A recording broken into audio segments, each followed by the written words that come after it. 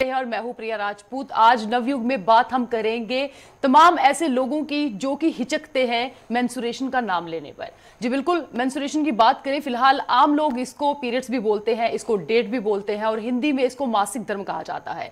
ये बात सिर्फ़ महिलाओं के लिए ही नहीं, बल्कि हम पुरुषों के लिए भी है, क्योंकि पुरुषों का भी ये कर्तव्य बनता है कि महिलाओं के जो भी हेल्थ के रिलेटेड उनको भी इंफॉर्मेशन होनी चाहिए।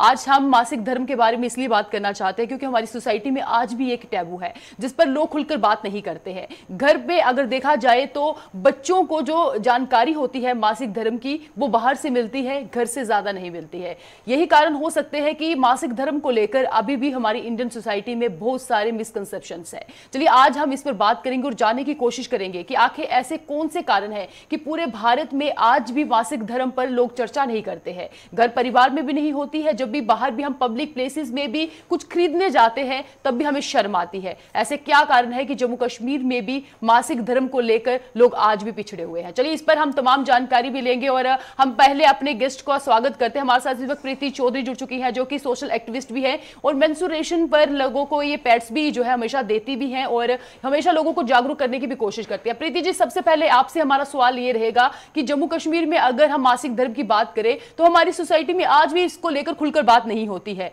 लोग इसका नाम जब लेते हैं तो छुप के लेते हैं। महिलाएँ जो होती हैं, वो बाहर जाकर इसका ज़्यादा ज़िक्र नहीं करते। ऐसे क्या कारण है कि आज भी हम लोग इतने पिछड़े हुए हैं मासिक धर्म को लेकर? देखिए प्रिया, जहाँ तक मुझे लगता है मासिक धर्म की बात है, इस चीज़ के बारे में जो डिस्कशन सोसाइटी में होनी चाहिए, जितनी अवेयरनेस जागरूकता होनी चाहिए सोसाइटी में, वो नहीं है।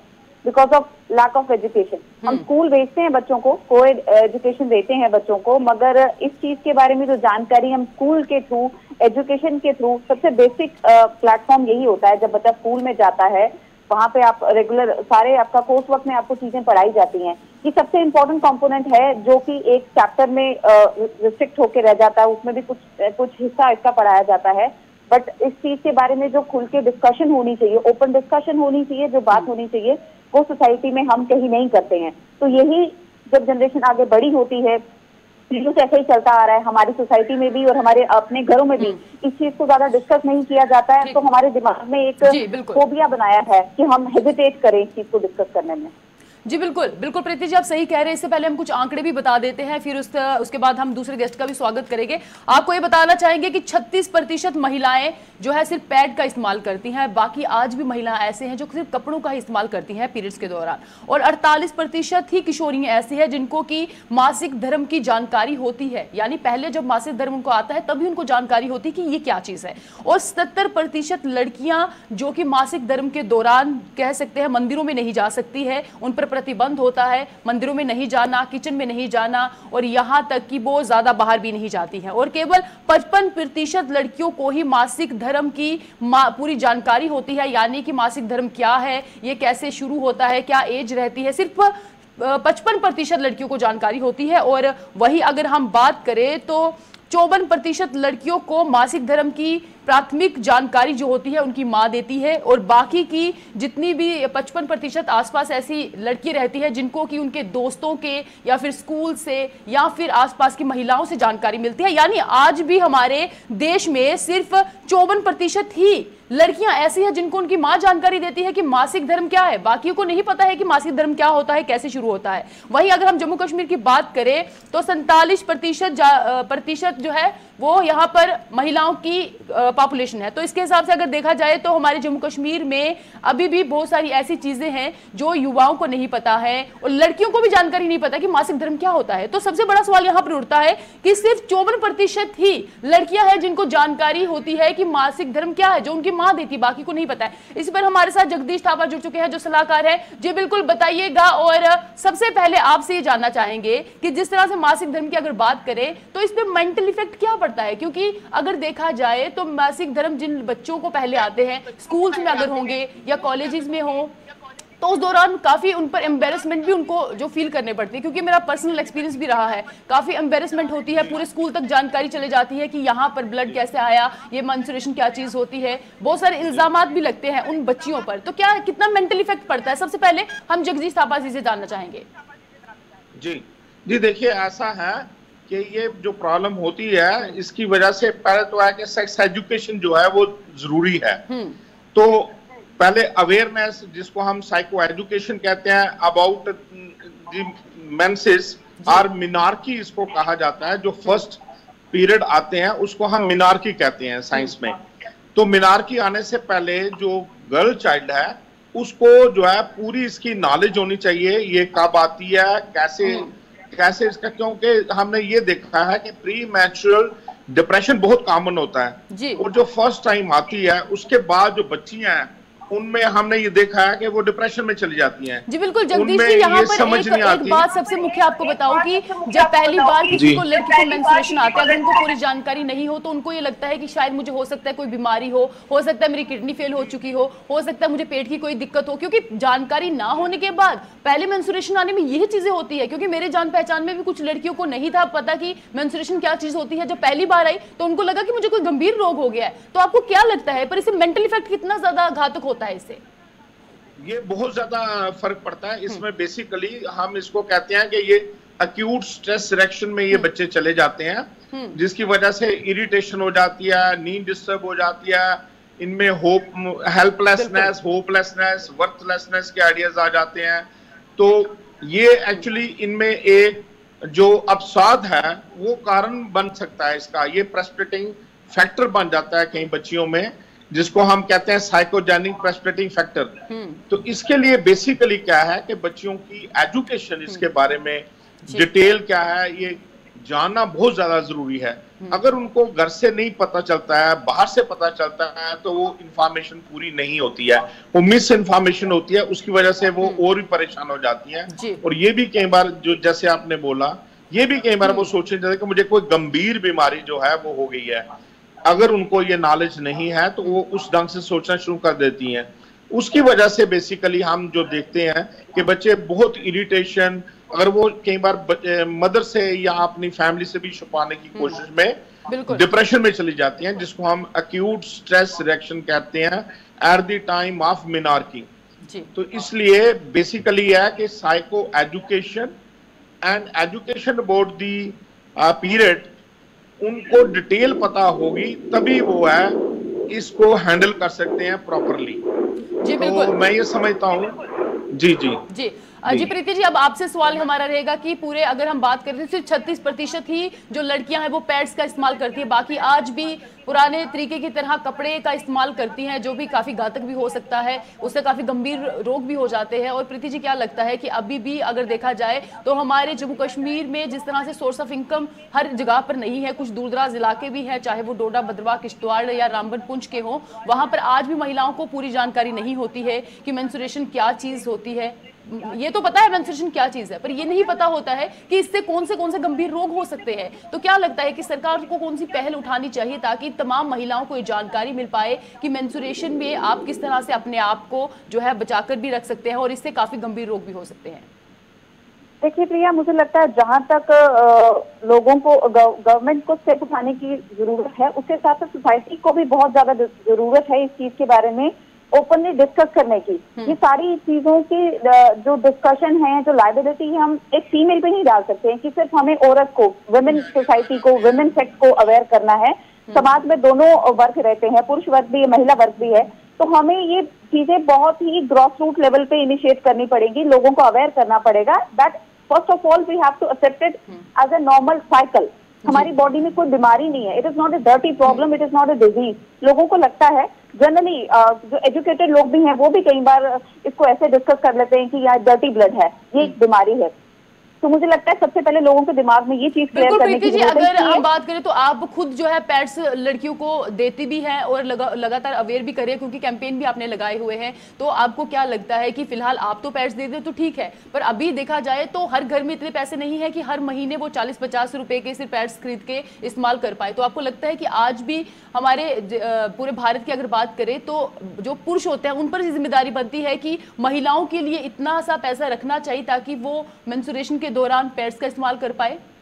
बिल्कुल बिल्कुल प्रिया बहुत इंपॉर्टेंट है ये चीज़। सिर्फ़ सुनने में या हम जब इसको डिस्कस नहीं कर पाते हैं तो इसकी इम्पोर्टेंस हम नहीं समझा पा रहे हैं लोगों को कि इससे हमारी हेल्थ और फीमेल की हेल्थ और उसकी हाइजीन कितना मायने रखती है। अगर मेंस्ट्रुअल पीरियड के दौरान साइकिल के दौरान अगर उसको प्रॉपरली हाइजीन मेंटेन नहीं की जाए तो बहुत सारी यूटीआई इन्फेक्शन हो सकती हैं बहुत सारी प्रॉब्लम्स हो सकती हैं।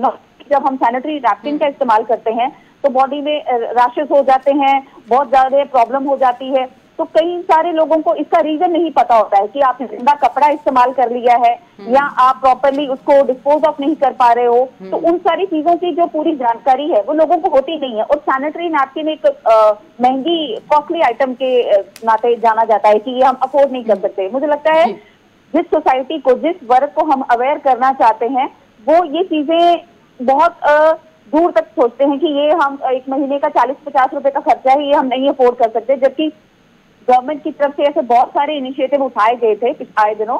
रेलवे स्टेशन पे बस स्टैंड पे सैनिटरी नैपकिन की डिस्पेंसिंग मशीन लगाई गई थी जिसमें एक रुपए का एक सैनिटरी नैपकिन आपको अवेलेबल था। बहुत सारी गवर्नमेंट हम्म। ने ऐसी स्कीम लगाई हैं जो शायद अभी इंप्लीमेंट नहीं हो पाई हैं। बहुत कम जगहों पे होंगी। रेलवे स्टेशन पे मैंने शायद देखा होगा या एयरपोर्ट पे। बट जो लोग रेलवे स्टेशन या एयरपोर्ट जा रहे हैं मुझे लगता है वो दूसरा सैनिटरी नैपकिन मार्केट से लेके भी उसको खरीद के इस्तेमाल कर सकते हैं। जिस आ, लोगों को हमें जिन तक हमें पहुँचना है वो शायद इस चीज़ के बारे में जानते ही नहीं है कि सैनिटरी नैपकिन क्या होता है और ये हमें कहाँ से मिलेगा और इसको इस्तेमाल करने की ज़रूरत क्या है? क्यों हम इस्तेमाल करें? अगर हम इतने सालों से इतने देर से हम कपड़ा इस्तेमाल करते आ रहे एक माता जो है अपनी बच्ची को तभी अवेयर कर पाएगी जब उसको खुद पता होगा कि हाइजीन शब्द क्यों इस्तेमाल किया जा रहा है हाइजीन की इंपॉर्टेंस क्या है। अगर किसी माता ने खुद ही कपड़ा इस्तेमाल किया होगा तो वो अपनी बेटी को भी यही सजेस्ट करेगी कि बेटा इसके बारे में आपको बात नहीं करनी है। हम्म। जब आपको मासिक धर्म आएगा तो आपको कपड़ा इस्तेमाल करना है एंड उसको छुपा के कहीं साइड पे डालना है सुखाना है उसी को रीयूज करना है। और सैनिटरी नैपकिन कहीं बीच में से वाइप आउट हो जाएँगे। ये शब्द जो है उनके लिए बहुत बड़ा हो जाएगा।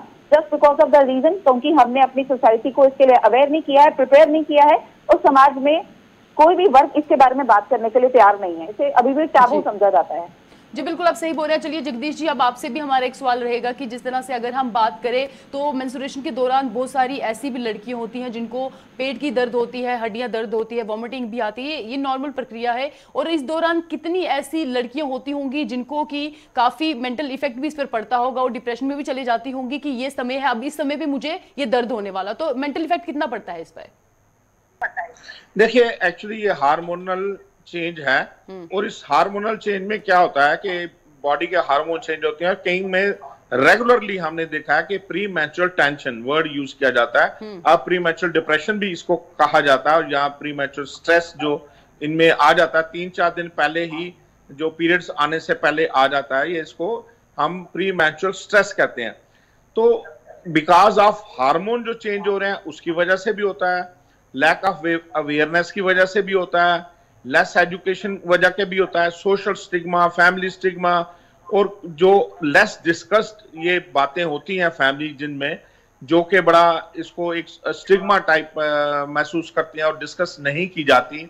जैसे बता रहे थे आप ऑलरेडी आज का टॉपिक। देख बहुत अच्छा आपने रखा है लेट डिस्कस द पीरियड तो जो डिस्कशन अगर होगी ओपनली तो लेट्स टॉक पीरियड जो आपने रखा टॉपिक इज़ वेरी गुड तो अवेयरनेस वर्कशॉप्स खुल के बात करना फैमिली में।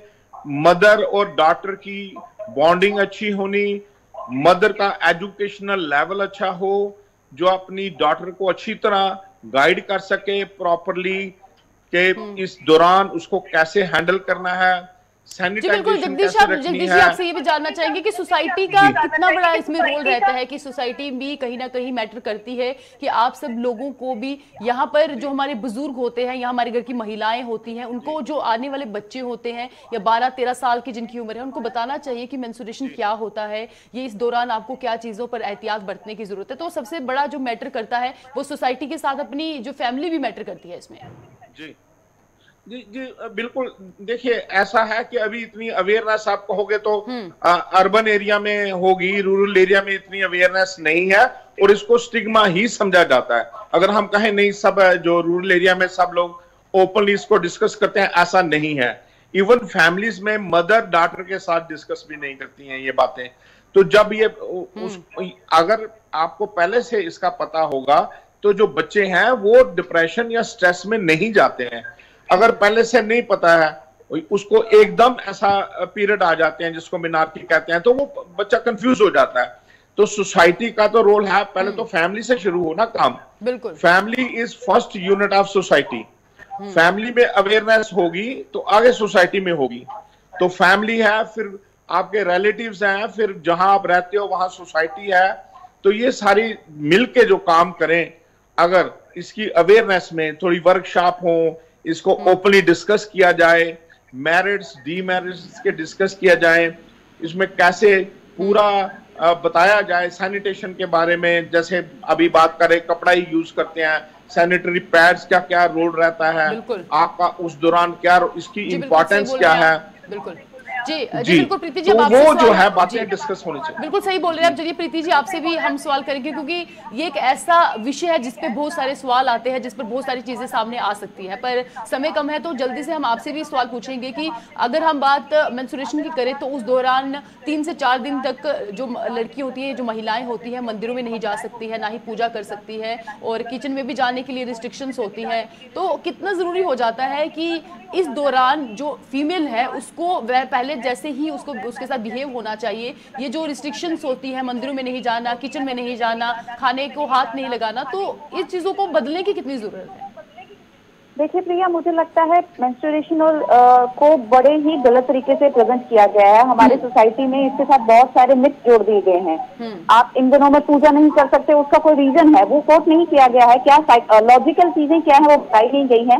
बिकॉज़ फीमेल की बॉडी इस टाइम पे बहुत ज़्यादा वीक हो जाती है रेगुलर ब्लीडिंग हो रही होती है, उसके कारण बॉडी वीक होती है तो इसलिए बेड रेस्ट बोला जाता है कि आप करो किचन में काम जाके ना करो। बट इसको इस तरीके से प्रेजेंट किया गया है कि आप उस टाइम पे अशुद्ध अवस्था में हो और आपको किचन में नहीं जाना है पूजा वाली जगह में नहीं जाना है। मुझे लगता है ये सारी चीज़ें वाइप आउट करने की ज़रूरत है और फैमिली में जो स्टिग्मा है सोशल स्टिग्मा जो होता है पीरियड आए सब लोग उसको एक एक फीमेल को ऐसा ट्रीटमेंट देते हैं कि नहीं अभी ये अशुद्ध है सेफ़ नहीं है इसको मतलब नॉर्मल मंथली पीरियड आए हुए तो पाँच दिन हमें इसके ज़्यादा ज़्यादा बात नहीं करनी है इसको साइड पे रखना है। उसको अपने रूम से बाहर नहीं निकलने देना है। ये सारी चीज़ें मुझे लगता है कॉमनली बहुत सारी लड़कियाँ फेस करती हैं। शायद हम लोग इस इस चीज़ के जो इफ़ेक्ट है उसको सोच ना पाए कि कितने ज़्यादा डीप उसके इफ़ेक्ट हो सकते हैं बट स्टिल अभी भी ये प्रॉब्लम है कि उन जी यहाँ पर ये एक तो इम्पैक्ट है और दूसरे एक मिसकंसेप्ट कंसेप्ट ये भी है कि इस दौरान नहाया नहीं जाता है, क्योंकि कुछ लोग मुझे ये सुनने में मिला था कि मेंसुरेशन के दौरान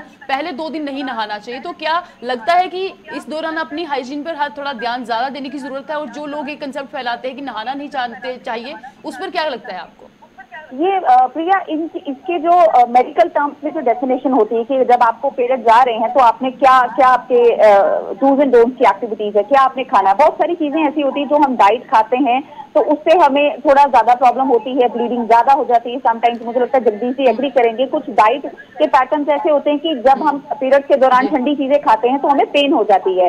या फिर नॉर्मली हमें बहुत ज़्यादा हार्मोनल चेंजेस होते हैं इरिटेट हो जाते हैं मूड स्विंग्स होते रहते हैं। तो डाइट के रिलेटेड तो बहुत सारी चीज़ों के साथ मैं एग्री करूँगी। बट जहाँ तक नहाने की बात है आ, मुझे लगता है हाइजीन इतनी इंपॉर्टेंट है कि इस टाइम पे हमें अपने आप को बहुत साफ़ रखना पड़ता है। चार पाँच दिनों में आपने भी सही कहा। अब हम जगदीश जी का भी पक्ष सुन लेते हैं कि उनका क्या कहना जगदीश जी आप बताइएगा कि आपको क्या लगता है इस दौरान आपकी जो पर्सनल स्टेटमेंट जानना चाहेंगे क्योंकि लोगों को ये लगता है कि नहाना नहीं चाहिए। सबको नहीं करता बल्कि कुछ ऐसे वर्ग है जिनको लगता है कि मेंसुरेशन के दौरान नहाना नहीं चाहिए। तो आपको क्या लगता है कि मेडिकल टर्म में क्या कहा जाता है कि नहीं नहाइए?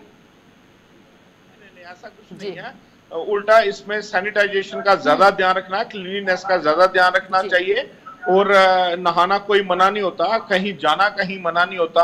हम्म। और काफ़ी सोसाइटीज हैं एडवांस लोग हैं जब मीनार की होती है उसको सेलिब्रेट किया जाता है। जी। ये सेलिब्रेशन का टाइम होता है। तो यहाँ एक्चुअली हम्म। कुछ लोग जो है सेलिब्रेट ना करके इसको एक उसमें मिथ बना देते हैं कि इस दौरान ये सोई में ना जाए नहाए नहीं किसी हम्म। से बात ना करे।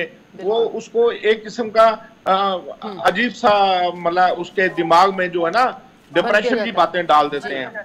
खुशी वाली बातें हैं वो एक्चुअली बहुत सोसाइटी है जिसमें ये सेलिब्रेशन वाली बात होती है। हम्म। तो कि एक अडल्ट सही कहा कुछ सोसाइटीज में ये सेलिब्रेशन का समय रहता है पर अगर हम जम्मू कश्मीर की बात करें तो ज़्यादातर लोग ये इसको एक टैबू आज भी समझते हैं।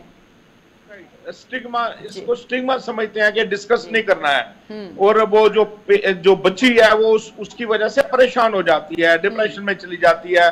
उसको लगता है कुछ अनहोनी हो रही है जबकि ये नॉर्मल फिनोमिना है और इसको जो है वो बेचारी डिप्रेशन में इरिटेशन और डिप्रेशन में और अपने आप में उसको लगता है कि कुछ बुरा हुआ है जबकि ऐसी फीलिंग होनी चाहिए कि ये दिस इज़ गुड ये सेलिब्रेट करने का टाइम है। तो ऐसा अगर ले मगर पेरेंट्स सोसाइटी फैमिली इन सब का इसमें रोल है कि प्रॉपर एजुकेशन और इंटरेक्शन जो है वो अच्छी पॉजिटिव वे से करें ताकि जो बच्चे हैं ऐसे, वो डिप्रेशन में ना जाएँ।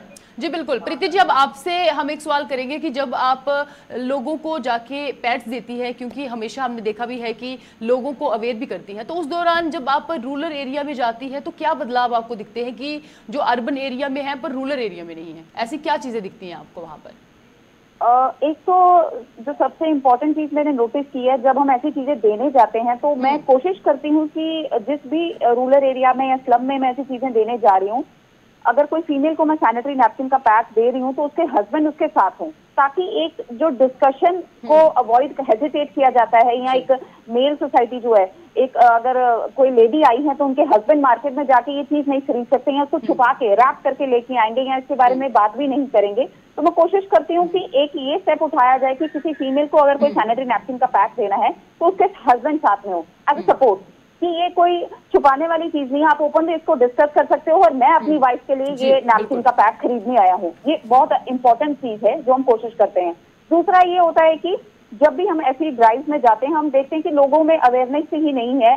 सैनिटरी नैपकिन तो एक साइड पे रहा चैप्टर आप अपनी फीमेल की हेल्थ को लेके फीमेल की रिप्रोडक्शन सिस्टम को लेके आपका उनका जो फैमिली प्लानिंग की चीज़ें हैं वो भी वो डिस्कस करना शुरू कर देते हैं। उनको लगता है कि शायद हम कोई ऐसी चीज़ें इनको डिस्ट्रीब्यूट करने आए हैं हेल्थ डिपार्टमेंट की तरफ़ से। जी बहुत बहुत शुक्रिया आपका पूरी जानकारी देने के लिए क्योंकि समय कम रह चुका है और हमारे गेस्ट ने आपको बताया कि क्या कुछ चीज़ें निकलकर सामने आती है। जब वो सोसाइटी में लोगों से बात करते हैं और जब पैड्स लोगों को दिए जाते हैं तब उनको कितनी ज़्यादा इसको लेके हेजिटेशन होती है। आज भी हमारे पूरे जम्मू कश्मीर के साथ पूरे भारत में मेंस्ट्रुएशन को एक टैबू ही समझा जाता है और 36 प्रतिशत की ही महिलाएँ ऐसी है जो कि पैड्स इस्तेमाल करती है। बाकी आज भी ऐसी है जो अनहाइजीनिक मेथड से मेंस्ट्रुएशन के दौरान यूज़ होती हैं। चलिए, ये वाली अब बात अगर हम सरकार की ओर से करें तो सरकार की ओर से भी बहुत सारी ऐसी पॉलिसीज़ निकाली गई थी, जहाँ पर महिलाओं को अवेयर करने के लिए और उनको पैड्स देने के लिए भी मुहिम चली थी। पर जमीनी स्तर पर देखा जाए तो आज भी दूर इलाकों में वो फैसिलिटीज़ नहीं पहुँच पाती है